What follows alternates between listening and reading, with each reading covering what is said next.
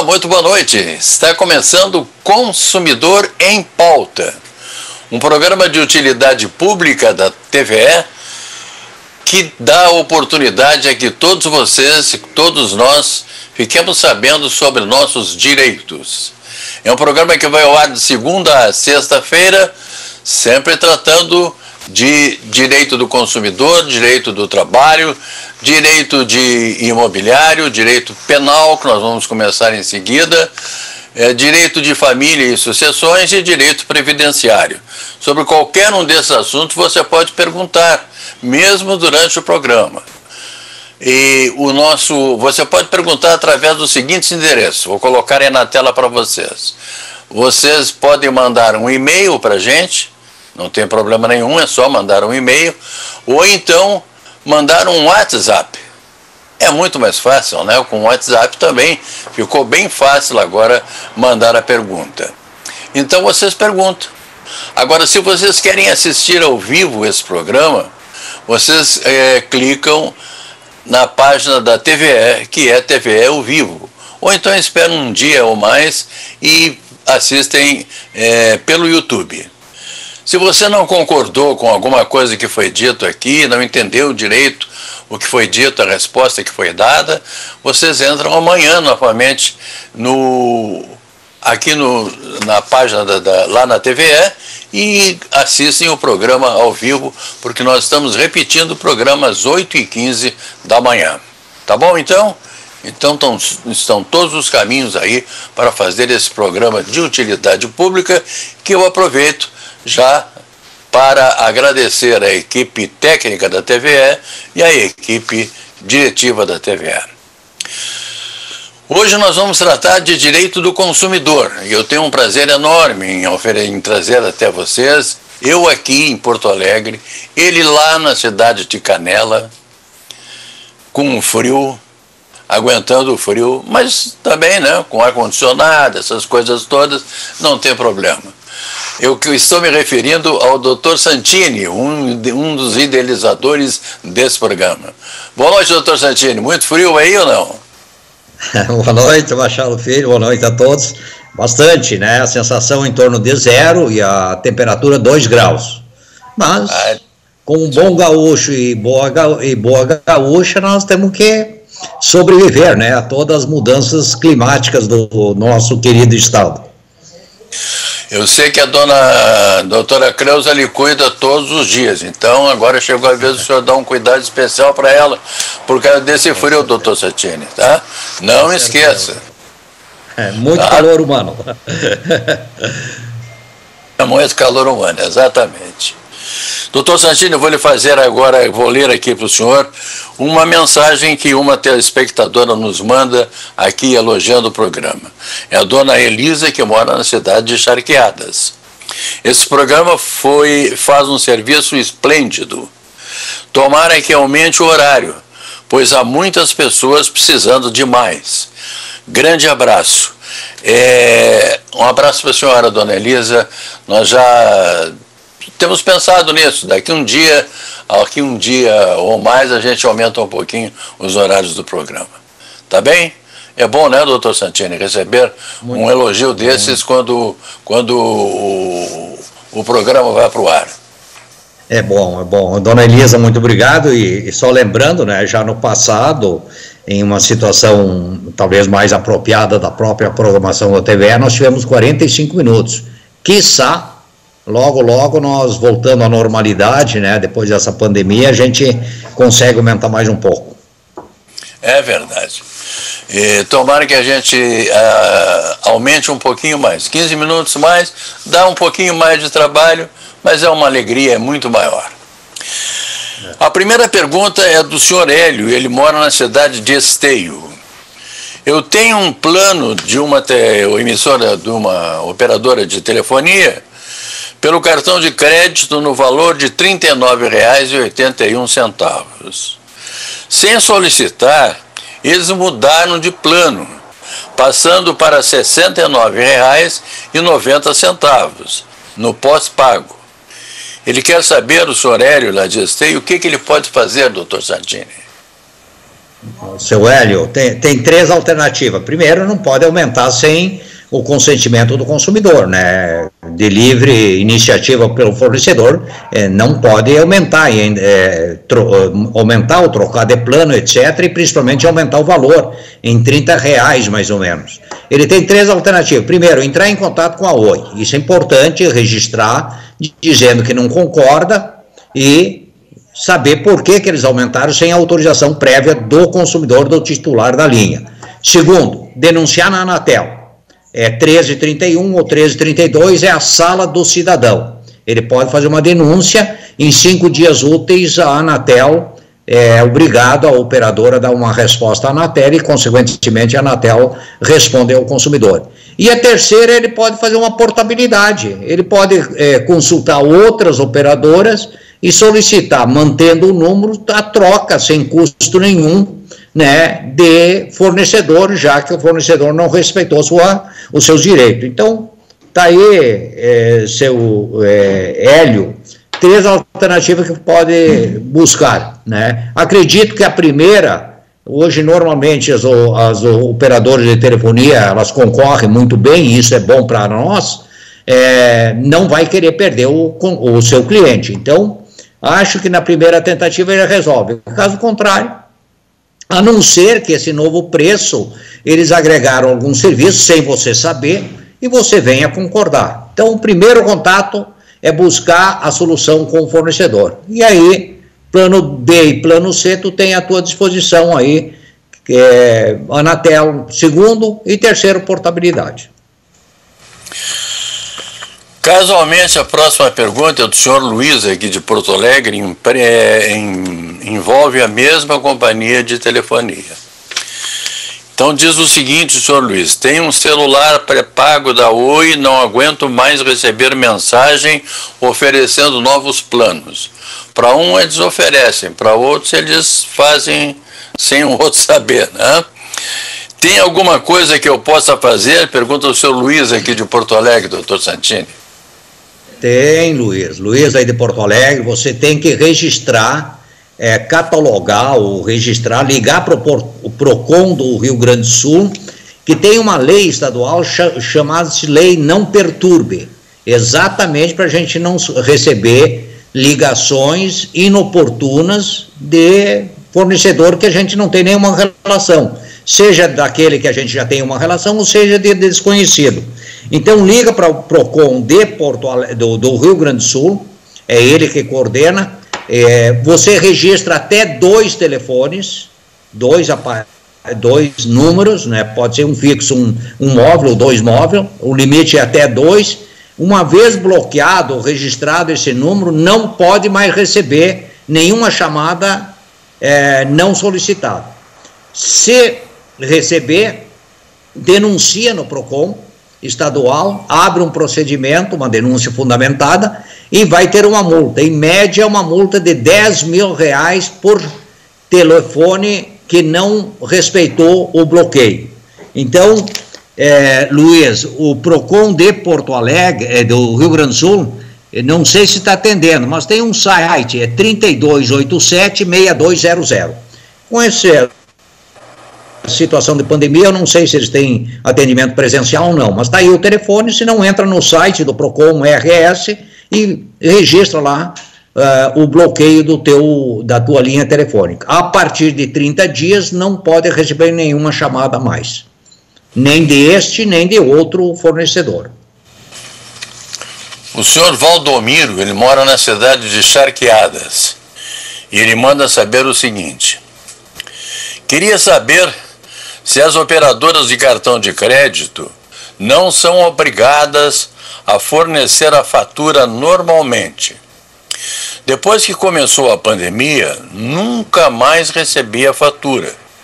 Já reclamei. Tenho que marcar horário no banco para poder levar o cartão e pagar a fatura. Veja só o trabalho que está dando isso aí para o seu Valdomiro aqui de Sarqueadas. O que, que ele faz, doutor Santini? Valdomiro é obrigado ter à disposição e antecipadamente ao vencimento a fatura, ou por e-mail, normalmente é, é, é por meio físico, ou seja, é remessa por correio. E aí a gente tem que ficar um pouquinho atento, mas a obrigação é do fornecedor, é da administradora do cartão de crédito. É obrigado disponibilizar a fatura antes do vencimento, para não, não poder é, pagar posteriormente e ter juros em cima. Então, isso é obrigação do fornecedor. Você já registrou uma queixa, talvez você fala e, novamente com a operadora, né, é, dessa a administradora, melhor dito, do cartão, dizendo que eles são obrigados, caso contrário, você vai entrar com uma ação no Poder Judiciário. Só fala isso aí que eles vão resolver. E eles podem facilitar a vida.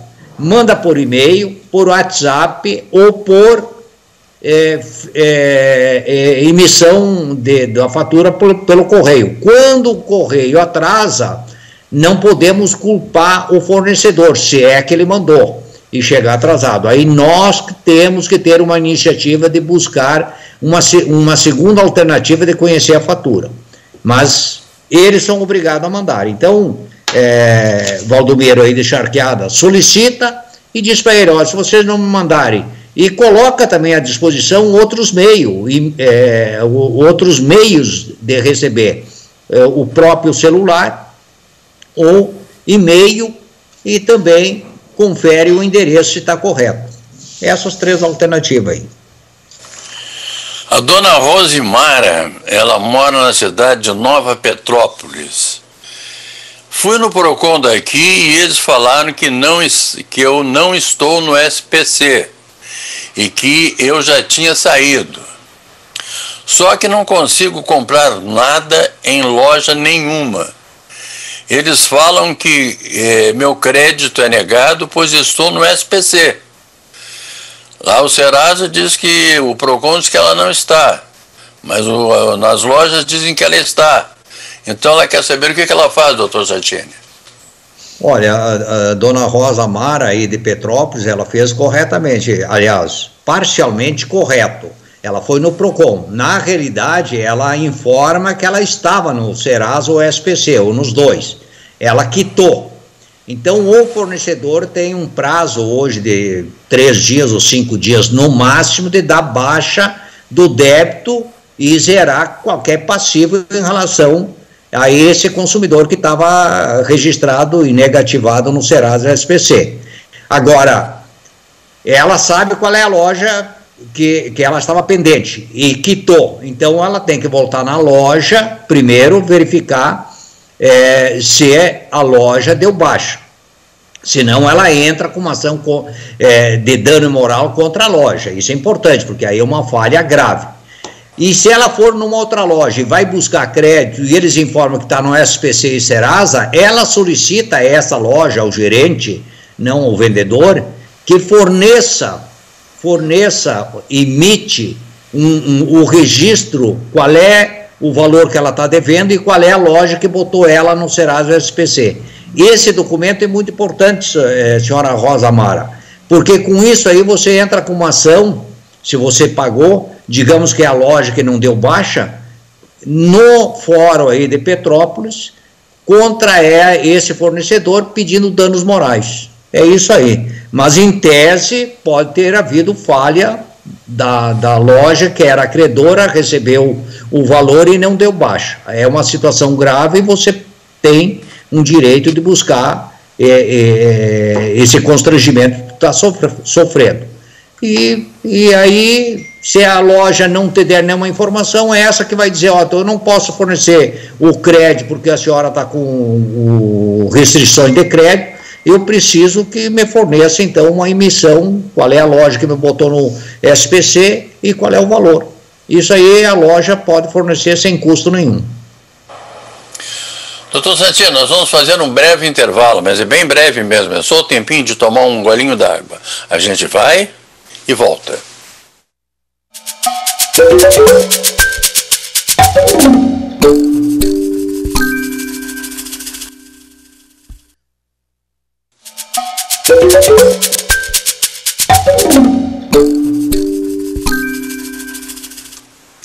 O programa que você está assistindo é o Consumidor em Pauta. E hoje nós estamos tratando de direito do consumidor. Eu estou falando aqui com o Dr. Santini, que é um dos idealizadores desse programa. Doutor Santini, vamos para a pergunta, lembrando sempre que o doutor Santini está lá em Canela, né? Lá em Canela, para vocês terem uma ideia do que trabalha a nossa equipe técnica, tá bom? Temos uma pergunta de um anônimo aqui de Porto Alegre. Eu tinha um plano da Unimed pelo Hospital São Lucas da PUC, antes de 2005. Me aposentei em 2006 e em 2007 saí da empresa recebi um documento do departamento de pessoal para eu levar na Unimed no prazo de 30 dias.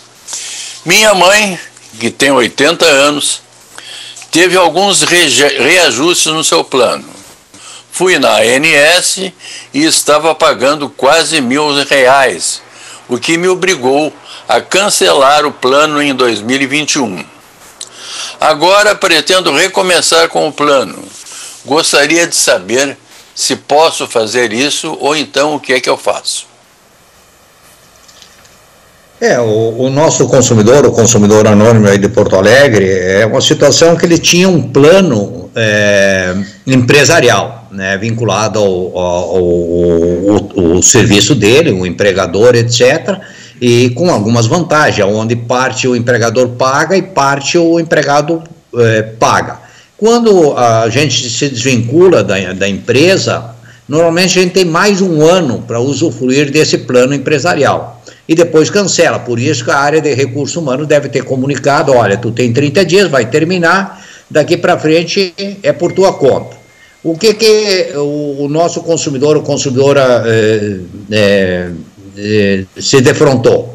É, bom, o valor muito alto, né, em função é, provavelmente a pessoa de maior idade, é, com 80 anos, era dependente dele, e, e aí né, começou a uh, criar algum problema orçamentário. Então ele cancelou. O que, que ele pode fazer? Voltar na Unimed, tentar compor. Né, hoje a gente faz um plano mais direcionado à necessidade e o perfil do, do usuário, do cliente, né, é, ou fazer uma pesquisa em, outro, em outro, outras operadoras de plano de saúde para ver se ele encontra algum plano compatível com o seu orçamento. Agora, como ele perdeu o vínculo, né, ele vai ter um período de carência, isso é importante.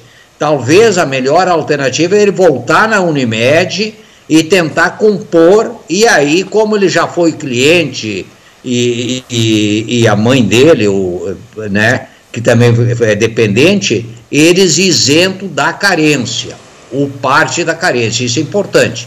Então começa pela Unimed e verifica se dá para compor aí um, um plano que, que possa né, ser suportado pelo orçamento familiar. É isso aí.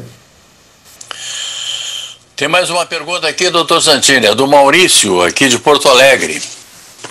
Ele diz o seguinte: tive um problema no registro do banheiro de minha casa. Também já tive um problema igual aqui e tive que resolver.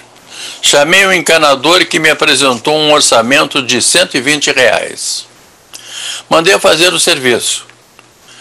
Quando ficou pronto, o encanador me apresentou uma nota de 250 reais, alegando que demorou mais do que o previsto. E o seu Maurício, aqui de Porto Alegre, quer saber se o encanador pode fazer isso, doutor Santini. Parabéns, seu Maurício. Primeiro, olha que coisa importante. O Maurício chamou um profissional autônomo, o encanador, e solicitou um orçamento. Olha que importante. Ele ficou com a prova, né, com o orçamento, ele tem uma prova documental. O cara identificou o trabalho, deu o valor, não estabelece preço, é, é, é, por tarefa, é uma empreitada. Então o Maurício já tem uma vantagem, tem um documento, é prova documental. Agora o cara alegar, e daí eh, até que o encanador é coerente, né? Fornecer uma nota fiscal. Agora o valor não é coerente. O valor tem que ser os 120 não os 250. Seu Maurício, paga os 120, é, pede, pede uma nota em 120 ou um recibo e deixa ele reclamar para quem ele quiser. O que vale foi o acordado previamente. Não teve peça, o problema se demorou mais ou menos, não está previsto. Isso aí foi uma empreitada. Uma empreitada é terminou o serviço e ainda tem que ter garantia de serviço, pelo menos 90 dias. Então é assim. Perfeito. Parabéns, Maurício, por ter exigido o orçamento prévio. Isso que é fundamental. A dona Janine, ela mora na cidade de Esteio. Essa pergunta, doutor Zantini, é praticamente igual a uma outra que nós já fizemos aqui, mas eu vou fazê-la porque a dona Janine mandou. Recebo diariamente telefonemas de um número que já foi bloqueado. Atendo uhum. e não falam nada. Chegam a ligar às 7 horas da manhã e seguem o dia inteiro até às 8 horas da noite. O que posso fazer para não receber mais esses telefonemas? E daí, doutor Santini? É, a dona Janine é uma, uma pergunta parecida com a anterior que nós já respondemos, mas só que a dona Janine já tá, se antecipou, ela já tem o, o telefone, de, o número desse telefone registrado no PROCON RS, que é com base na lei não, não inoportune, né? Não perturbe né, a lei inoportune. É, então, ela, o que, que ela tem que fazer? Agora, ela tem o registro do telefone que ela está recebendo. Esse registro ela tem que fazer uma denúncia fundamentada no PROCON RS, que é o 3287-6200, ou no site. Ela denuncia, né? E o PROCON vai abrir um procedimento administrativo, né? E aplicar uma multa. É isso aí. É, né, né ela já, já tem o, o, o registro do bloqueio do seu celular para não receber chamadas inoportunas, então agora tem que denunciar para o PROCON aplicar uma multa. Se não me falha a memória, para cada é, ligações é, em telefones bloqueado, a multa estava em 10 mil reais. E aí vai enquadrar esse fornecedor indesejado. O senhor Paulo mora na cidade de Canoas. E diz o seguinte: comprei um conjunto de mesa de seis cadeiras numa loja de móveis usados. Os móveis pareciam bem conservados. Depois de três dias, as cadeiras começaram a soltar os pés. Fui até a loja e reclamei. O dono me falou que não podia fazer nada, pois se tratava de móvel usado. Ele está certo, doutor Santini? não, o fornecedor não, ele tem que. A garantia para bens duráveis e, e cadeiras em mesa é bem durável, seja usado ou não, é 90 dias. É o prazo legal, a garantia legal. Então, seu Maurício, é, espero que o seu Maurício tenha, mesmo que ele tenha comprado num, num estabelecimento de, de móveis usado, ele tenha nota fiscal, ou recibo. Isso é importante. Se ele não tiver, vai ser a palavra dele contra do dono da loja. É, mas mesmo assim ele pode né, denunciar, se ele não tem nenhum comprovante, ele deve ter prova testemunhal, etc. Aí o melhor é ele fazer uma, uma denúncia no juizado especial.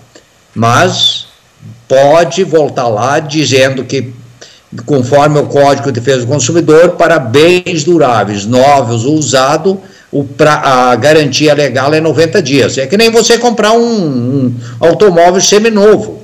É, ele já foi usado, é seminovo ou usado. Antigamente a gente usava a palavra de usado. Eles são obrigados a garantir 90 dias, né, porque ele está enquadrado como um, um bem durável.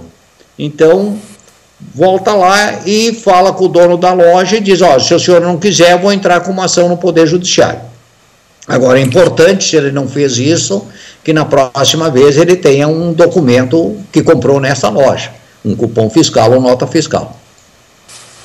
Pois é, essas coisas de móveis usados e móveis não usados acabam, às vezes, dando esse problema. Tem móveis usados que se usa aí durante a vida inteira ou mais um tempão enorme e não acontece nada, né, doutor Santini? É verdade, é verdade.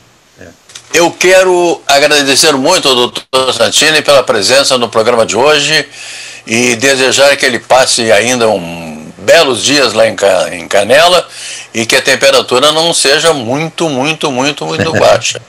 Não vai castigando da doutora Creus e do doutor Santini. Lembrando a vocês que amanhã, nesse mesmo horário, às 18 horas, eu estarei de volta para tratar de direito do trabalho. A todos vocês, muito obrigado, muito boa noite e até lá.